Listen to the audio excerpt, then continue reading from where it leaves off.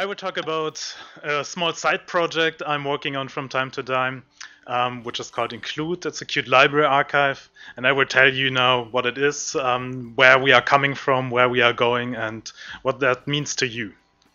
My name is Cornelius Schumacher. Um, my email is schumacher at kde.org. You can reach me there. My Twitter handle is cschum, or however you would pronounce that in your favorite language. So in the beginning, there was Qt, um, and we all know Qt is the same choice if you write user interfaces of uh, whatever flavor. And Qt is a great library. It contains a lot of stuff. So we heard that this morning from Lars what they are planning to put into that for the next version. So there already is a lot of um, functionality provided by Qt. But still, Qt is not perfect. It doesn't include everything, and that's probably a good thing.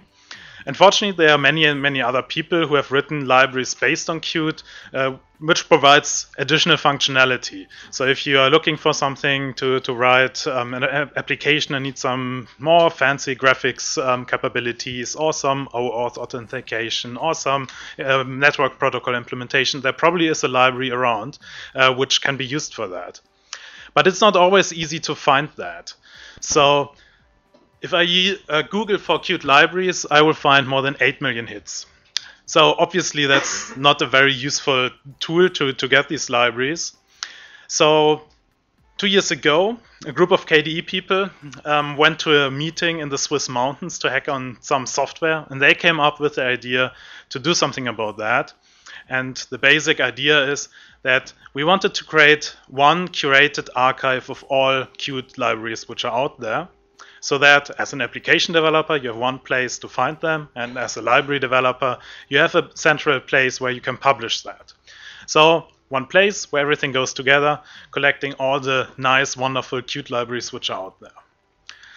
So we came up with a fancy name, and as KDE people are known for their fancy way of misspelling things, of course, we misspelled this as include with a Q. Easy to remember. The concept we came up basically uh, consisted of uh, three parts. So the first one is to create a format to, for describing libraries, to have a structured way how to uh, collect the metadata for these libraries so that you can actually work with that, not only as a human, but also for um, integration with tooling and so on. And the second thing was to provide actual tooling around that. So you have some tools where you can uh, process the metadata, you can search for uh, specific aspects, you can filter, you can create other presentations of this data, and whatever you want to do with that for integration with other tools um, to create some tooling which provides that. And the third thing, of course, to create a website where everybody can just go, this one place where you can find all Qt libraries, where you can publish your libraries, and um, yeah, have this archive at a central place, which is inqlude.org. So this is actually um, there now. So I'm telling you what is the current state of uh, Inqlude, where we are with that archive.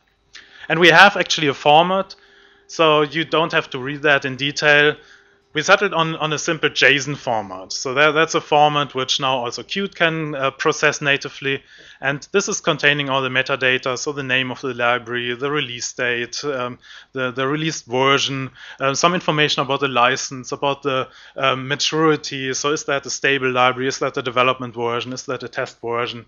Um, the available platforms and uh, pretty important uh, what packages are available. So the source packages they should always be there but also binary packages so we can integrate that with native packaging systems.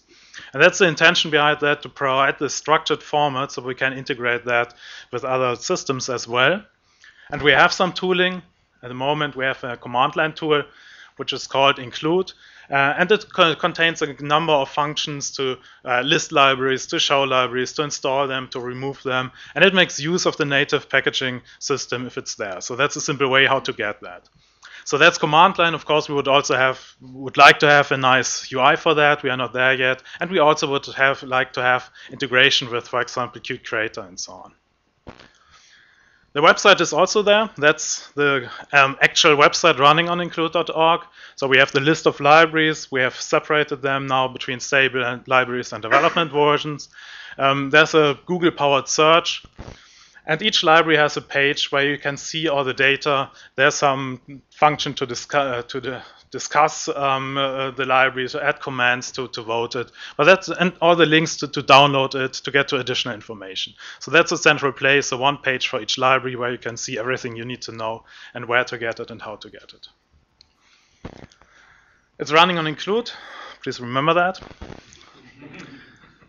And talking about technology a little bit, because you are technical guys, um, at the moment this is more or less a random set of technology we used because it was most convenient. We have the central JSON format, we have some Ruby tools to process all the data, to create the website, to, to parse the, the manifests, how we call the, the metadata.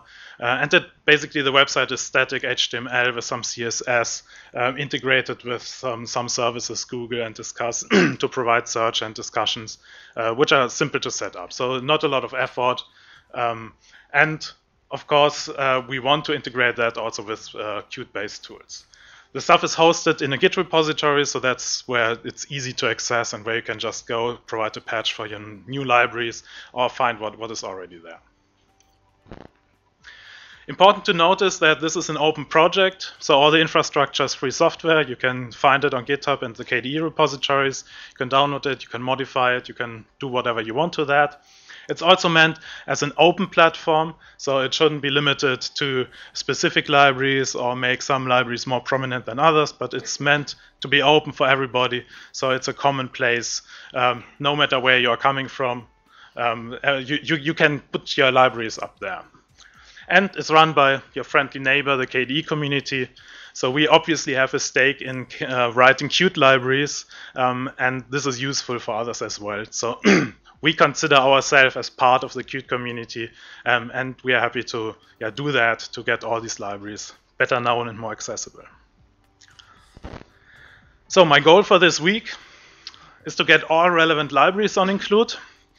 Um, I already have quite a big of uh, collection, uh, but still, I'm always surprised what is out there. So people tell me, okay, there's this library. Have you heard about that library? And I'm trying trying to collect them all.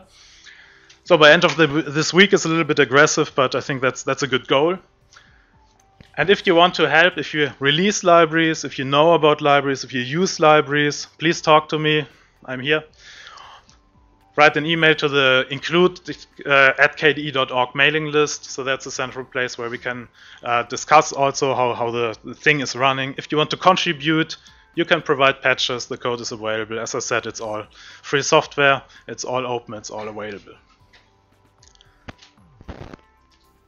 And remember this URL. so that's all I wanted to tell you. My name still is Cornelius Schumacher, and as we have this nice little competition, please vote for me.